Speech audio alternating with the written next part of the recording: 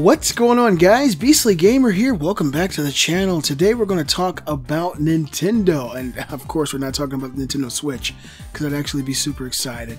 In this video I have to be a little sad. I'm saddened at the news that Nintendo is ending development and manufacturing of the Nintendo Wii U. I'm just kidding, it's good news. Anyway, Nintendo's Wii U is no longer being manufactured in Japan. Now, about two weeks ago, we heard rumblings of this in the mainstream media. IGN, GameSpot, Eurogamer, they all hinted to this. And Nintendo came out and said, au contraire, we are continuing manufacturing our Wii U consoles. But it appears that all good things, bad things, horrible things must come to an end, and I'll drop a link in the description. Nintendo ending Japanese sales of Wii U, shifting to the Switch. Are you surprised? Nintendo Company is ending sales in Japan of its Wii U home console soon, although it's not saying exactly when, and similar announcements are expected in other regions, like the US. The Wii U, which went on sale from late 2012, is being replaced by the Switch, set to go on sale globally in March of 2017. Nintendo says it will show it to reporters in Japan on January 13th. The Japanese manufacturer behind the Super Mario and Pokemon franchises has already shipped Wii U machines for US sales through March.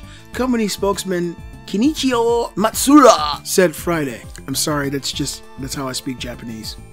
Kotoya based Nintendo also scored success with the remake of its 1980s Famicom machine called the NES Classic Edition, which goes on sale Friday in the US for $59.99. Japanese have been snatching it up since it went on sale Thursday. Much smaller than the original machine, it comes packed with 30 popular software titles such as Donkey Kong, the Legend of Zelda, and Super Mario Bros. Another recent hit the company has scored is Pokemon Go, an augmented reality game that can be played on smartphones. Nintendo's earnings have suffered from lagging sales of the Wii U as well as its 3DS handheld. After years of scoffing at threats from smartphones, Nintendo did an about face last year and entered that sector. Pokemon Go is the first big success for Nintendo since that decision, underlining the company's potential. So, the Wii U is dead. The Switch is alive.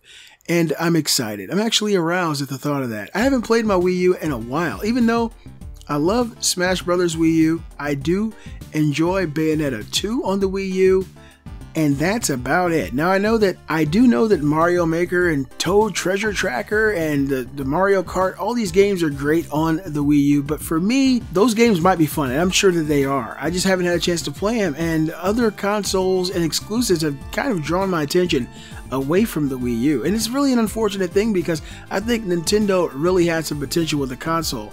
It just didn't get a lot of third party support, and the games that they made just really weren't enough for me to keep the Wii U alive. As you guys may know, the Wii U only sold 14 million consoles worldwide since 2012.